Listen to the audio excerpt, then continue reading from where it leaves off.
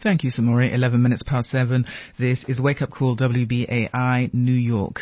According to new census figures released on Tuesday, metropolitan New York is being rapidly reshaped as Latinos, Asians, blacks, and immigrants are surging into suburbs. That's one of the findings from what's been described as the single largest data release in the Census Bureau's history, providing a look for the first time since 2000 at a variety of characteristics, including income, race, immigration, commuting habits for people in areas as small as just a few square blocks. It's based on samples taken from from 2005 to 2009, the five-year American Community Survey, which is separate from the 2009 survey. Now, joining us to um, talk more about the uh, uh, census figures released on Tuesday and what they reveal about the changing landscape, the changing population landscape of New York City, is Professor John Iceland, Professor of Sociology and Demogra- Demography at Penn State University. Professor Iceland, good morning and welcome to Wake Up Call. Uh, good morning. Thank you so much for um, for joining us.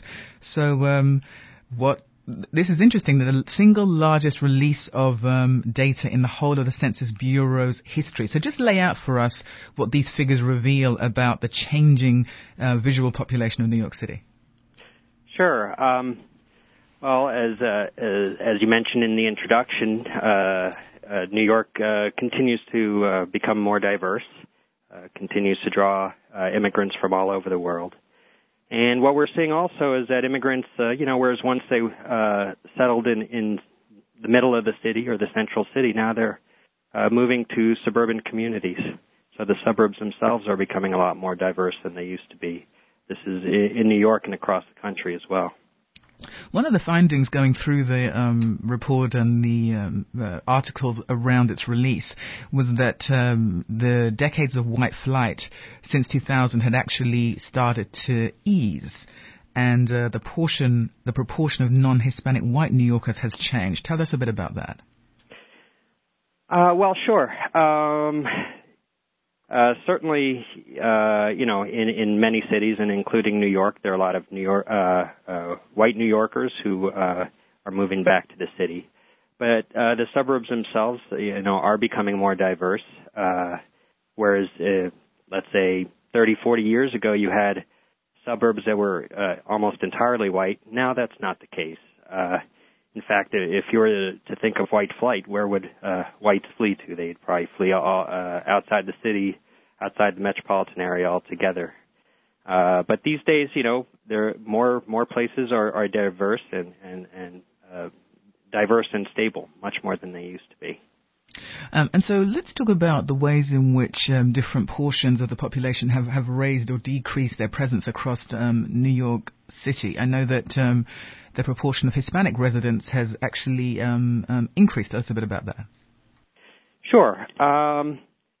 well, uh, immigration from Latin America, you know, continued. You know, it's it's something that's been going on for decades, and and we certainly see it uh, even in the 2000s, and uh, even in sort of uh, tougher economic times, though it might have slowed a, a bit in the last couple of years. So uh, Hispanics um, are continue to come in, into New York City. Sometimes it's different groups than in the past. Whereas, uh, let's say, uh, New York has historically had a, a sizable Puerto Rican population. Now there's a growing uh, Mexican population uh, as well, and they're settling again, not just in in parts of, of the five borough area, but but right in the suburbs. Uh, but the proportion of blacks has declined. Explain that. Uh, let's see. Well, um, I don't think it's necessarily that blacks are, are leaving the metropolitan area altogether, um, but I think it's more uh, their share changes in part because the share of other groups is increasing. So not only do we have a growing Hispanic population, but also a growing Asian population in New York.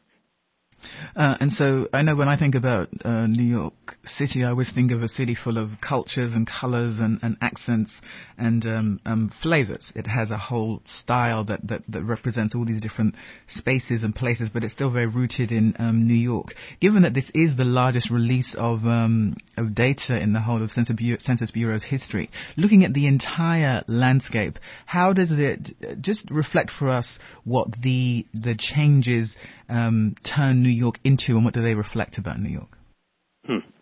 That's a good question. I mean, New York is, you know, it's a it's a city of immigrants, and it's been like that through uh, much of its history. What's interesting about New York too, it's a it's a city of ethnic neighborhoods as well.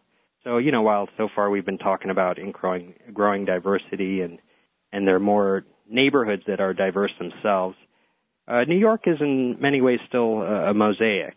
So you do have these sort of, ethnic concentrations in, in certain areas and uh, and, and we still see that. I mean, actually, when you compare New York to other cities uh, uh, across the country, it's in many ways, um, although very diverse, uh, pretty segregated as well. Um, and uh, and neighborhoods have their own flavor, as as you were saying. And you know, I, I don't think that's going to change anytime real soon either. Any major surprises from the um, figures? Um, not not really. I mean, in in some ways, it, it shows some con, uh, continuation of train uh, of trends. It's growing diversity. Uh, still, you have a lot of ethnic neighborhoods. Um, the long-term trend um, that I, I mentioned a bit before is also uh, a big decline over time in, in the number of just uh, you know wholly white neighborhoods. That now uh in every corner of New York, you, you see uh, some measure of diversity, or not every corner, but in a much uh, a greater array of neighborhoods than, than we used to. Census figures just uh, released. John Iceland, Professor of Sociology and Demography at Penn State University. Thank you so much for joining us. Thank you. Thank you. 718. This is Wake Up Call.